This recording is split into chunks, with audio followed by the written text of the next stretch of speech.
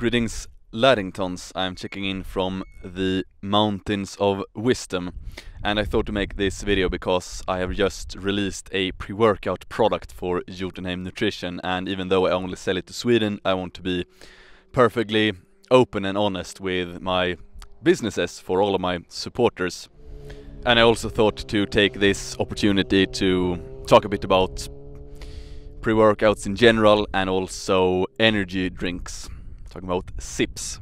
So basically my overall stance upon pre-workouts and energy drinks is that you can take them once or twice a month, something like that, for special occasions or because of convenience. So it's not something I recommend that you take on um, a daily basis because it's not financially good. It costs quite a bit of money if you're gonna buy energy drinks every single day and if we're talking about the stress certain energy drinks takes on the body, it's not particularly healthy as well. If you do it every once in a while, it's not a big deal, but doing it every day, not a good idea.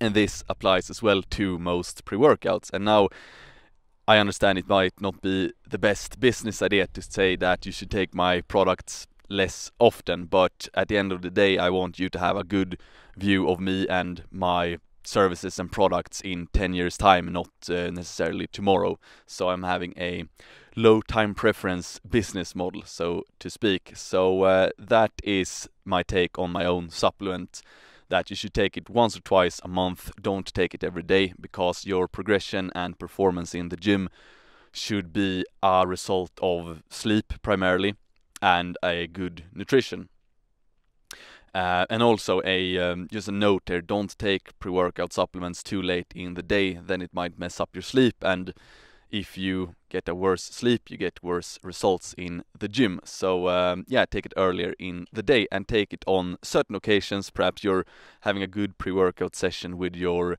Laddingtons, with your true friends, with your Bulkingtons, and you uh, watch some epic thing on uh, on the TV or whatever, listen to some heavy metal uh, pumped up before the gym, take a pre-workout, hit the gym together, have an epic session. But uh, don't do it on a daily basis because if you get used to taking a really high power supplement before every session, and then one day you don't have access to it, it's not a good thing. So try to keep it to once or twice a month.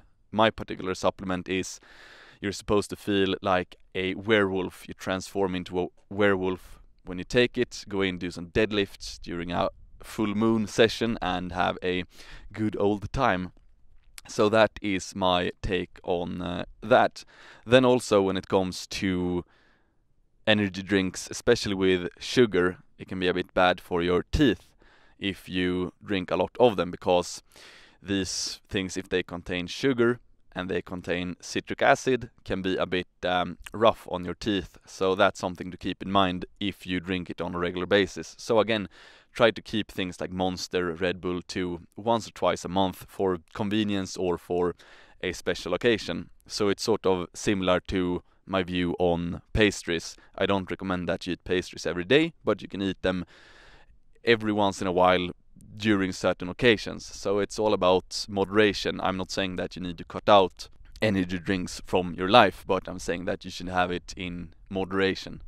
And then if you're into coffee, which is perfectly fine, there is actually some health benefits to coffee. Uh, I suggest that you may let the coffee stand for your invigorating effect every day, and then again, every once in a while, you can have a pre-workout or a um, energy drink.